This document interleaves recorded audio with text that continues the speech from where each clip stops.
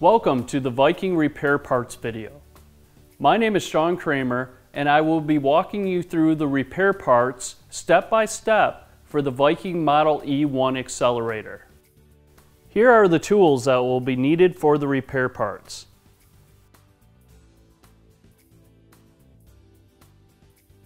Prior to working on the E1 accelerator, refer to the appropriate technical data sheets for placing the system out of service. We will be covering the installation of the repair kit in the Viking Model E1 accelerator.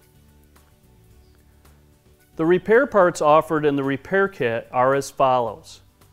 The retaining ring, cover diaphragm assembly, actuator rod, actuator rod spring, housing insert, screen filter, U-cups, U-cup retainers, housing spring, clapper diaphragm, seat, and lithium grease.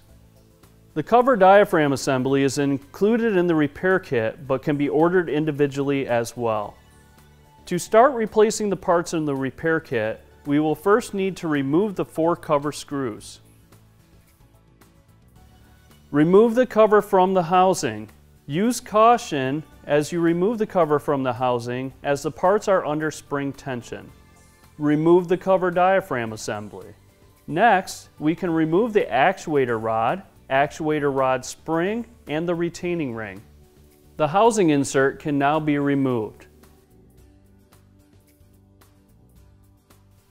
The U-cup and U-cup retainer can be removed from the housing insert. Remove the housing spring from the housing insert. To remove the additional parts, the accelerator will need to be turned over so that the base is in the upright position. Remove the four screws from the base. Separate the base from the housing. Next, we can remove the clapper diaphragm. We can remove the U-cup retainer and U-cup from the clapper diaphragm. Now the seat can be removed from the base. The screen filter can now be removed. Now we can start to install the new parts into the accelerator. Install the new seat into the base. Before installing the new clapper diaphragm, we will need to install the U-cup and U-cup retainer into the clapper diaphragm.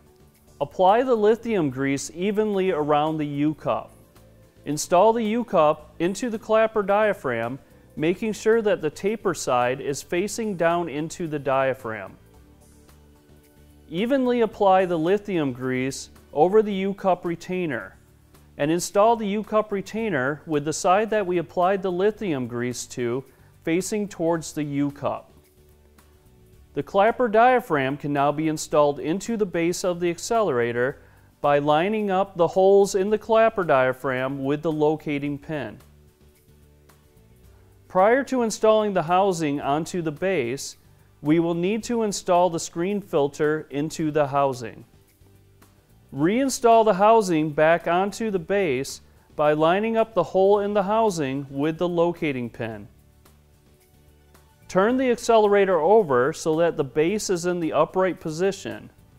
Install the screws to reconnect the housing and the base. The accelerator can now be turned back over into the upright position to install the rest of the parts of the repair kit. Install the housing spring into the housing.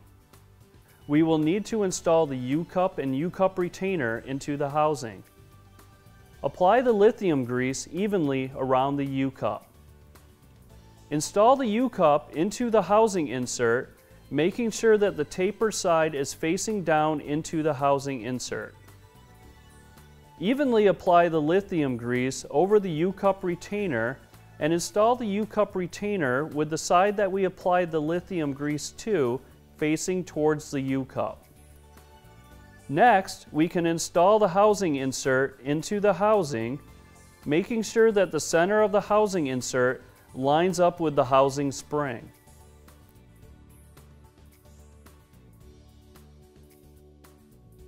Install the actuator rod spring onto the actuator rod. Install the actuator rod into the housing insert. Install the cover diaphragm assembly onto the cover of the accelerator. Install the cover onto the housing, verifying that the center of the cover diaphragm assembly lines up with the actuator rod.